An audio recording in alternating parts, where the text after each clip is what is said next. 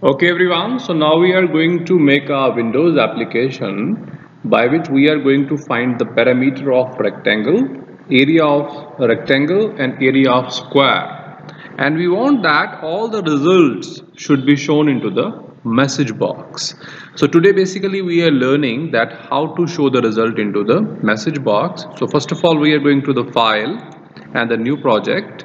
So here we are creating the new project for our application under the Visual Basic Windows, we are clicking on the Windows Form application and here we are giving this message or the name of this project like area of rectangle.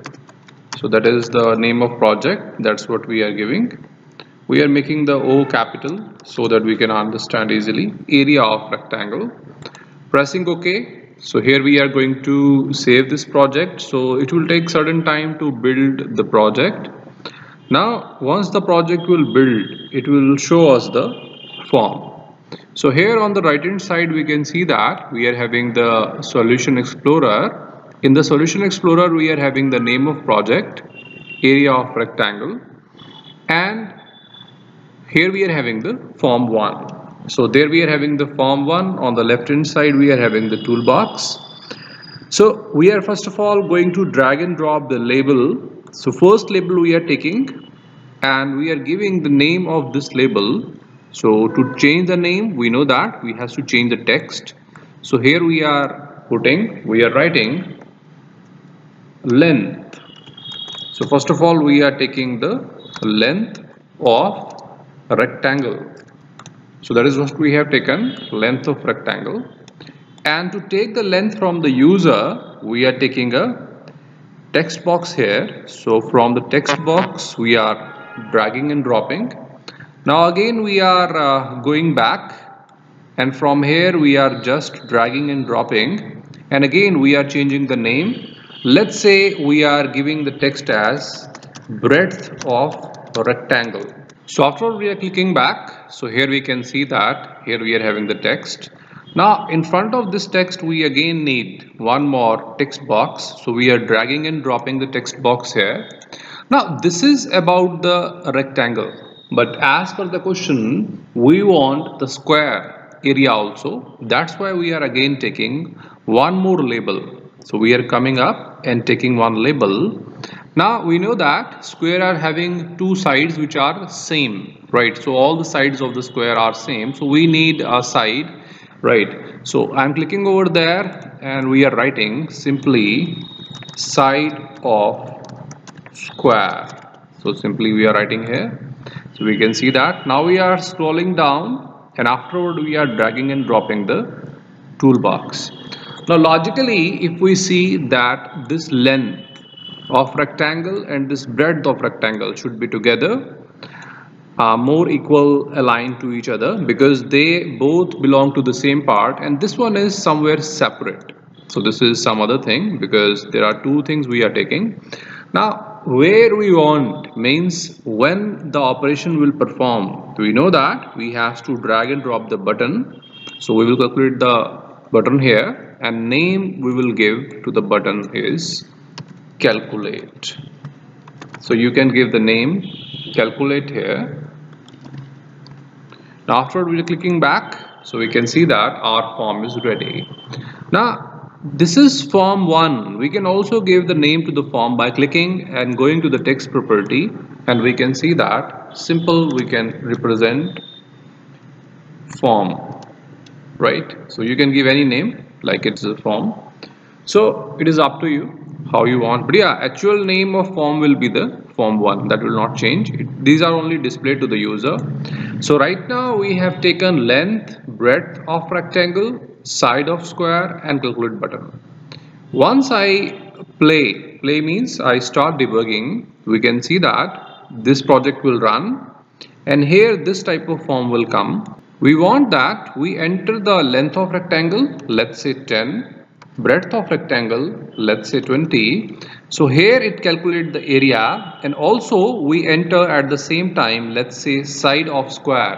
So all the things should be calculated at the same time by click on the button. So that means coding should be here on the button. So we are going back to the project. We are double clicking on the button. Now this button code will open. This is the button code here. Now what we want we know that there are three text boxes.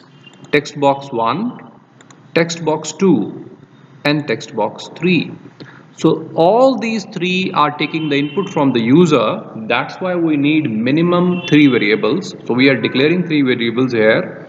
Dim means declare.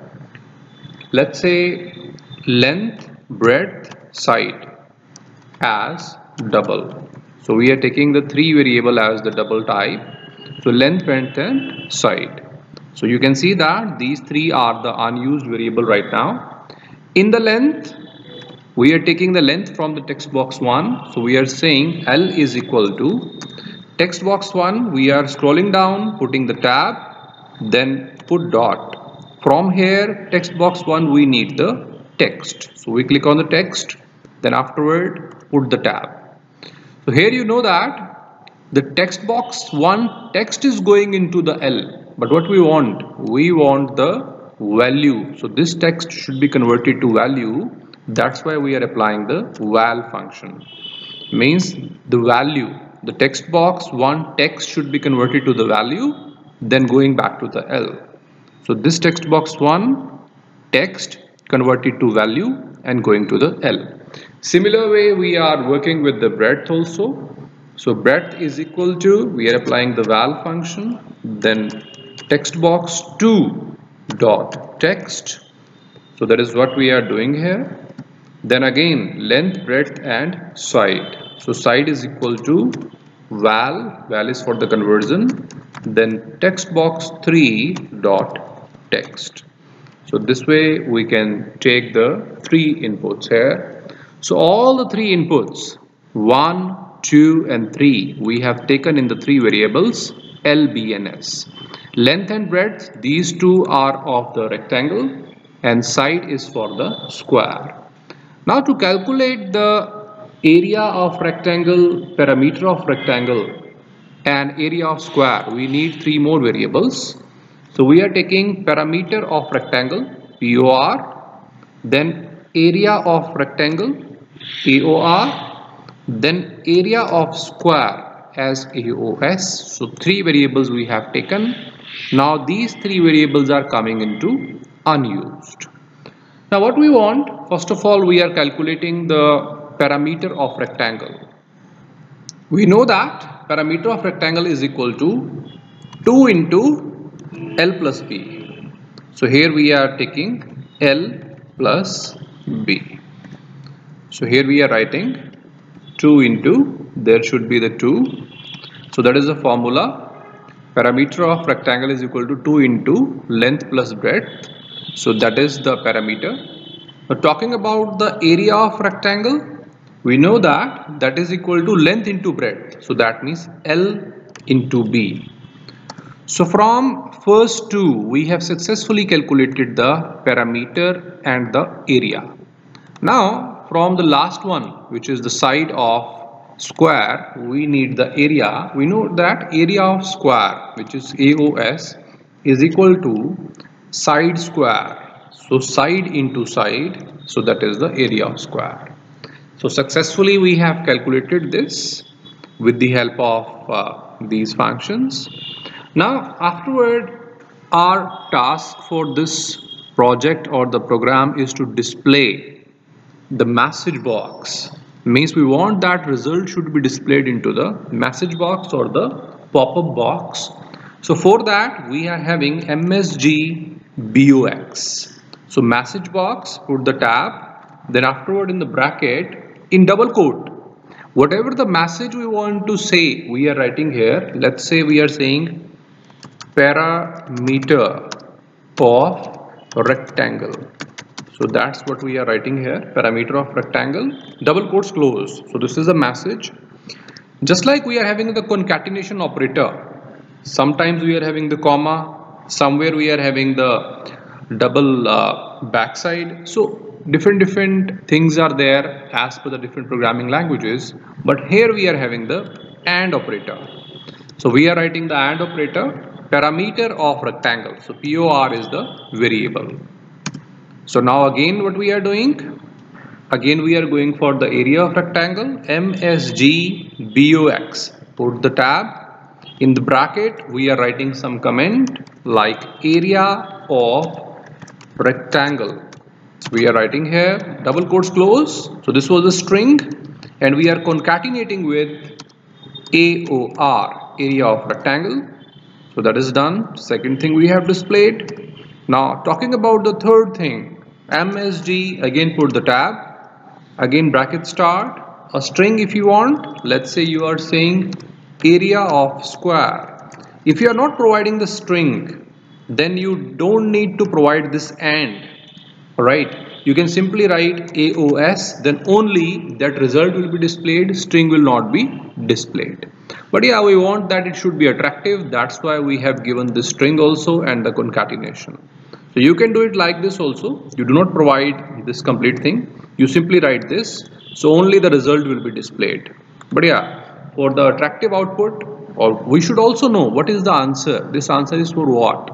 That's why we are writing here. So area of square that we are writing here and putting the concatenation operator.